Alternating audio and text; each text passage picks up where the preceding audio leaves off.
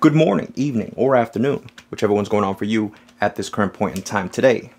Just got the arrestor in the mail. Now this is a water hammer arrestor. Really quick, if you're unfamiliar with what water hammer is, it's essentially a shock wave or a noise that your plumbing makes when there is an abrupt stop to water and there's no space for that pressure to equalize.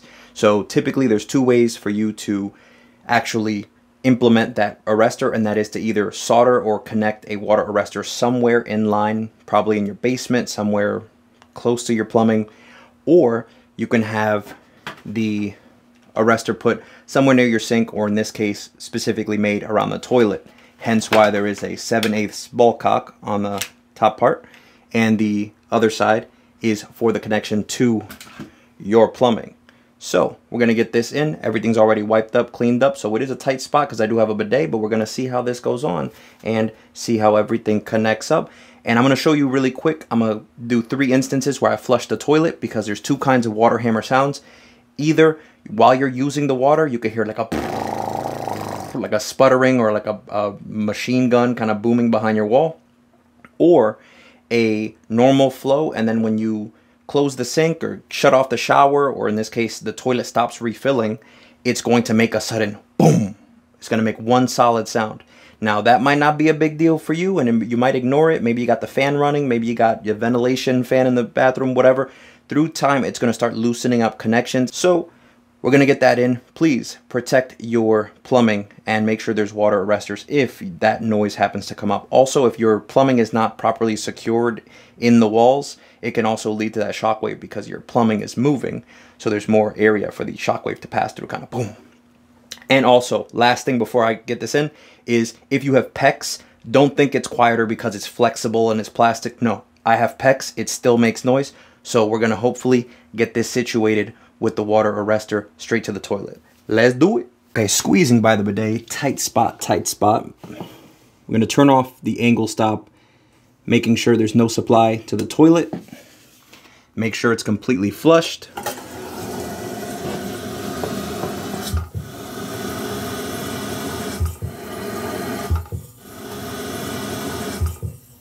For those of you who are unfamiliar with what a water arrestor is, it's essentially a small piston that compresses the air behind the piston in order to absorb that shock of that pressure. You should be having some air in your system. Again, not to the point where you're coughing out air, but certain spots where the water pressure can equalize with air.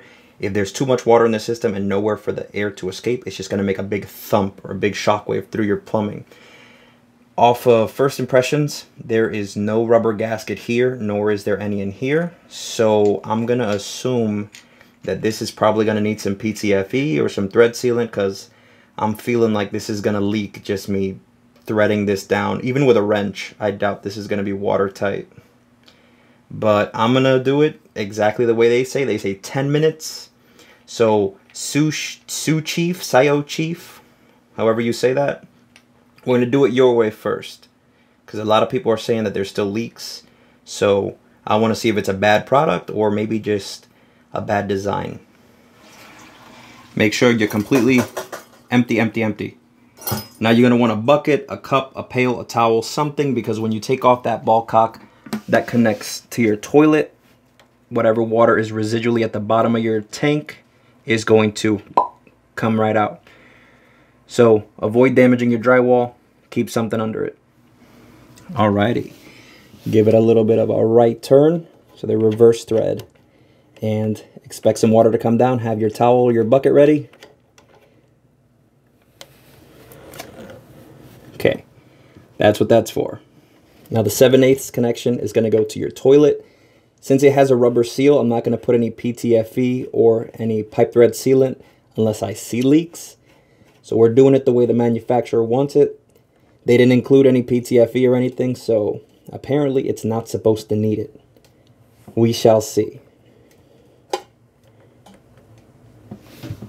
And if you saw how it turned, you may need to take off the cap and hold your refill valve in place so it doesn't spin while you thread this on. For your reference, that's the refill valve. So hold this in place so that the threads, sorry if that's disorienting, but those threads have that seal at the bottom. You don't want this thing spinning. Next. All right, now we just reconnect the supply. The reason it's so complicated is because I have a splitter that goes to my bidet and then the other half goes up to feed the toilet. So yours, if you don't have a bidet, it'll just be a straight line from your fill straight to the toilet. Now I'm doing this with one hand, but I'm gonna pause it for a second. You wanna make sure this is not spinning. So you're gonna hold this in place while this is threaded down. All right, she's all hooked up. Very slowly release and check for leaks. Oh, exactly what I thought. The leak is coming right at the connection point because there's no PTFE, there's no seal, there's nothing. So this requires a little bit of hands-on. I'm gonna show you how to do it. It's easy, I can, I can even just pull this off without even, yeah. So we're gonna use a little bit of PTFE. You know already Rock the Monster, that's what I use. You're gonna take your PTFE and you're gonna wrap your tape in the direction that the threads go. So if you turn it to the right to thread, then that's the way the wrapping needs to go. If you do it the opposite way, it's going to it's going to unwrap itself as you thread it down. Um, and it's always ideal to leave that first thread off just so it can grab itself properly and then you can give a little bit of a smoothing that's what I like to do just give a little once over with the with the threads by hand anything else is going to tear itself as you start threading it down but the main thing is a good seal get you a little bit of the good stuff this is pipe thread sealant. Again, you don't want to goop and glop this on. I mean, just, just enough. Just enough. Right? Make sure none of it actually gets in the hole. You want just the threads. Now we're going to squeeze back in here and make our connection. Make sure the threads line up as straight as they can. And before you go pressurizing this, you want to make sure that you're 100% allowing that pipe thread sealant to kind of cure a little bit. So take your time, do it nice and slow. Okie dokie. So we have our pipe thread sealant and PTFE now on. As far as the connection here, extra tight just in case and our connection to the bidet is solid. Take two.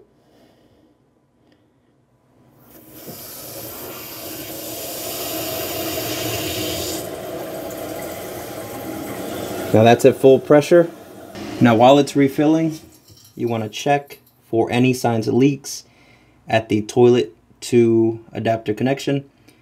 You want to check at the 7 8 connection. You want to check at the lower connection you want to check the side threads. And as time goes by, that pipe thread sealant is just going to get harder and make a better seal. So we're good. And let's listen. I'm going to put the microphone next to the wall and we'll listen for that bump. See if it's gone. Fingers crossed.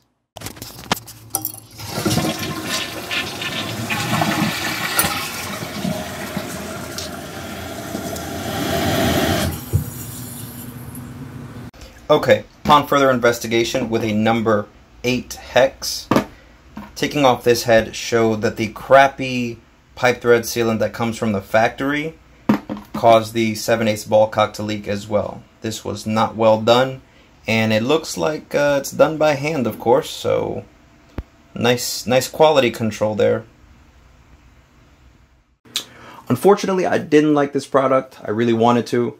Right there says 10 minute install. Nothing special, no crazy instructions. It just says attach to your toilet and it should fix the issue. Unfortunately, it didn't, so that's getting a return.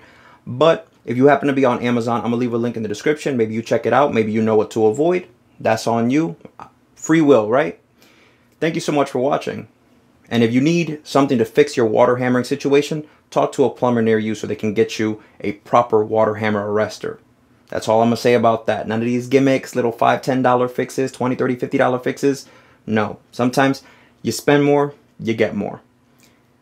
Until next time, work smart.